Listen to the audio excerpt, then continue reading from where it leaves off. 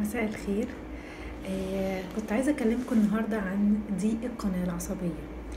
آه زي ما إحنا شايفين ال- الدايرة دي دي عبارة عن القناة العصبية.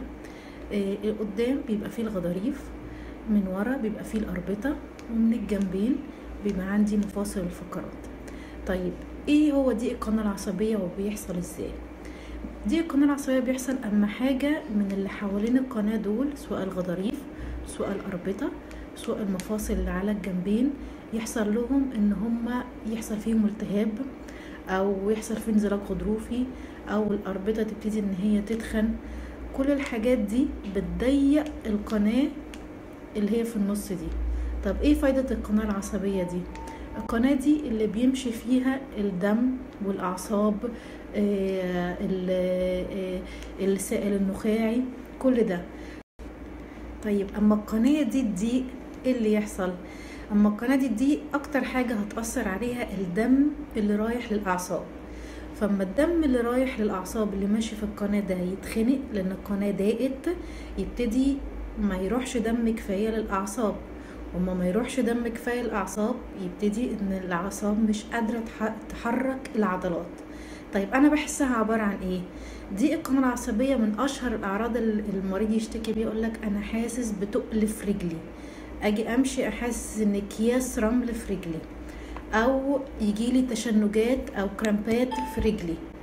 كل ده بيقولي إن الشخص ده عنده ضيق قناة عصبية. طيب إيه دور علاج الألم التداخلي لعلاج ضيق القناة العصبية علاج الألم التداخلي ليه طبعا كذا حاجة ممكن تتعمل لضيق القناة العصبية.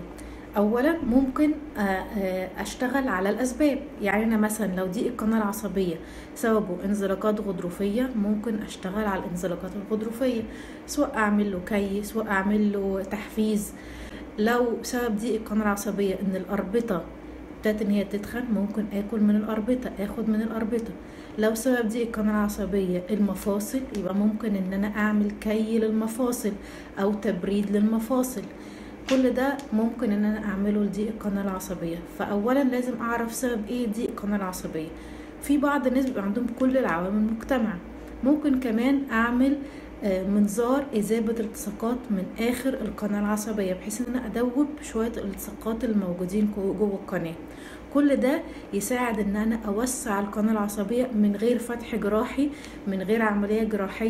آه، طبعا كل التداخلية بالنسبة لل- لضيق القناة العصبية بتبقى من غير فتح جراحي. آه، المريض بيروح في نفس اليوم.